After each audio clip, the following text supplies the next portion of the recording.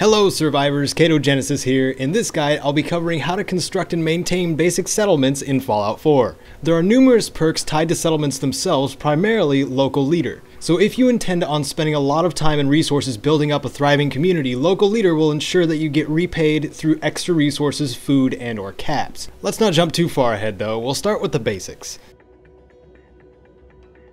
When you go to a Settlement's workbench and activate build mode, you're shown the overall status of your settlement at the top. It displays the population, food, water, power, defense, beds, and happiness. The total population your settlement can have is determined by your charisma value plus 10. So say you have a charisma of 6, the total population you can have is 16 in any settlement. Food, water, defense, and beds should match up or be higher than your population if you wish to keep your settlers happy. Happier settlers means more resources produced. This can also be monitored from your Pip-Boy in the Data Workshop section, so you can check up on your settlements even if you're not present.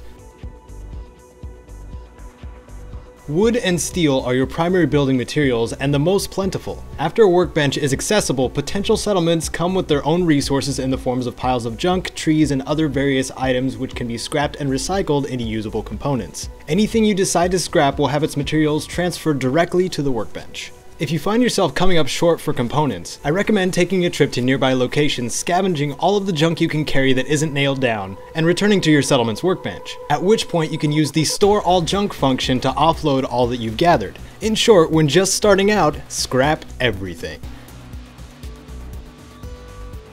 Many of these settlements have perfectly usable pre-existing structures and buildings that can't be scrapped, these can be built onto or reconstructed and furnished at the cost of less materials to be used by you and your settlers. But using pre-existing structures is just an option. When starting your own building, you have the choice of using prefabricated pieces or starting from scratch. The prefab choices have connecting pieces, partial, and even full shacks for you to use and are great if you just want to get established. If you are starting from scratch, your starting point should be shack foundations. Both are in the wood floor section. These will make a nice flat building platform atop the uneven wasteland terrain. After this, you have your choice of walls to throw around it, can add a roof to make it an actual shelter, a doorway with some stairs propped up to it, and there you have a basic, if not bare shack. As for furnishings, this is the point where cloth becomes a primary resource too. You can go into furniture and set up a bed, shelves, a table, and maybe some chairs and decorate to your heart's content. Also leave room for expansion. Your new settlers will need somewhere to sleep.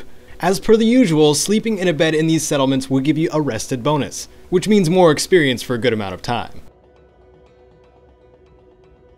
While nice to have, power isn't required beyond a recruitment beacon. More advanced defenses, water purifiers, and lighting sure are nice though. Let's start with a small generator under the power section. This requires steel, gears, rubber, copper, and ceramic to build. If you don't have all of these materials on hand, don't worry, you can select Tag for Search, and while scavenging nearby areas for needed parts, a magnifying glass will show up on the items you need. Keep in mind too, copper is used for wiring things together, so it's a good idea to keep that tagged if nothing else. Once our source of power has been placed, after highlighting it you have the choice to run wires, well you'll need something to power first. The connectors and switches section contains conduits, which you can stick to the side of your shack, connect to your generator, and it's powered to that conduit in a small area. After this, place some freestanding or wall-mounted lighting nearby the conduit and they should light up. If not, make sure they're close enough to the conduit and there's a wire running from the conduit to the generator. If you choose to replace the conduit with a wall-mounted switch, you can then turn your lights on and off without having to kill the generator every single time. To sustain a population, you'll want the other necessities aside from shelter. In the resources section, you have food and water. You can place water pumps with concrete, steel, and a gear just about anywhere that's not paved for a basic water source. Crops can be placed the same way but require that aid items such as corn, melons, moot mutfruit, potatoes, etc. Once placed, you can also use these yourself for some extra healing if necessary. Before jumpstarting an actual community, it's great to have a goal for your settlement before going too much further. So, will your settlement be a farm with a wide supply of crops, a source of raw materials for more construction, a bustling trade hub, or a simple player home, or any combination of those? And how will you defend it from the harsh wasteland? Having an initial plan will help you visualize what your finished settlement will look like. Once that goal is in mind, it's time to send an open invitation to settlers. Once you're ready to take on some settlers, you'll need a recruitment beacon and a way to power it. The beacon itself requires circuitry, crystal, copper, steel, ceramic, and rubber to construct. If you don't have these components on hand, like mentioned before, you can tag the items for search so you can find them easier during your time scavenging other areas. Once you've placed your beacon, you need only wire it to a generator and await your new arrivals.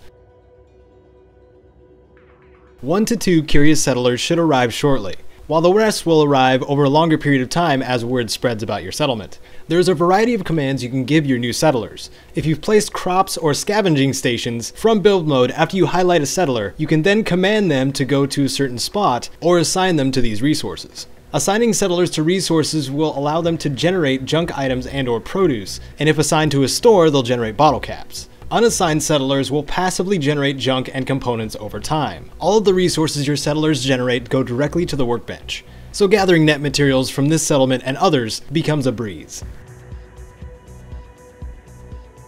Defenses are an important part to any settlement. You don't want to come back to find your crops and generators destroyed. To resolve this, you can build guard posts, turrets, and traps.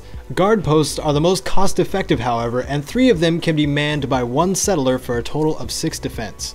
When placed, you need only assign a settler to one of them, and they will patrol between these three guard posts.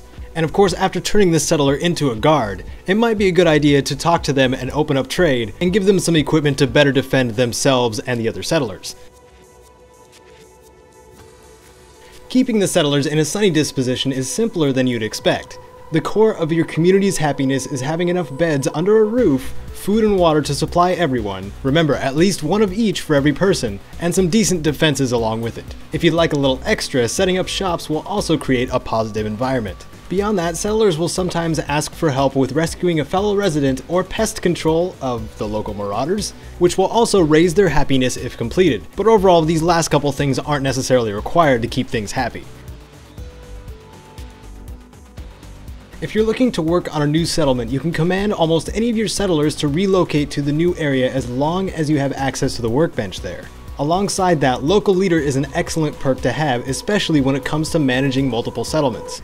With the first rank, you gain the ability to assign a settler to a supply line and connect to another settlement. This lets resources be shared between connecting settlements for the sake of workbenches as well as armor, weapon, cooking, and chemistry stations. The second rank of local leader allows for some more advanced items to construct like setting up shops and workstations really helping to fill out an already thriving settlement. And that is the Basic Settlements Guide. Explore your options and experiment with your settlements. Have you built one already? What is it like? Do you have any tips related to settlements? Leave a comment, I'd love to hear about it. If you found this guide useful, entertaining, or a little of both, you know what to do. Thank you so much for watching. This is Caedo Genesis, and may you wander the Commonwealth like you own it.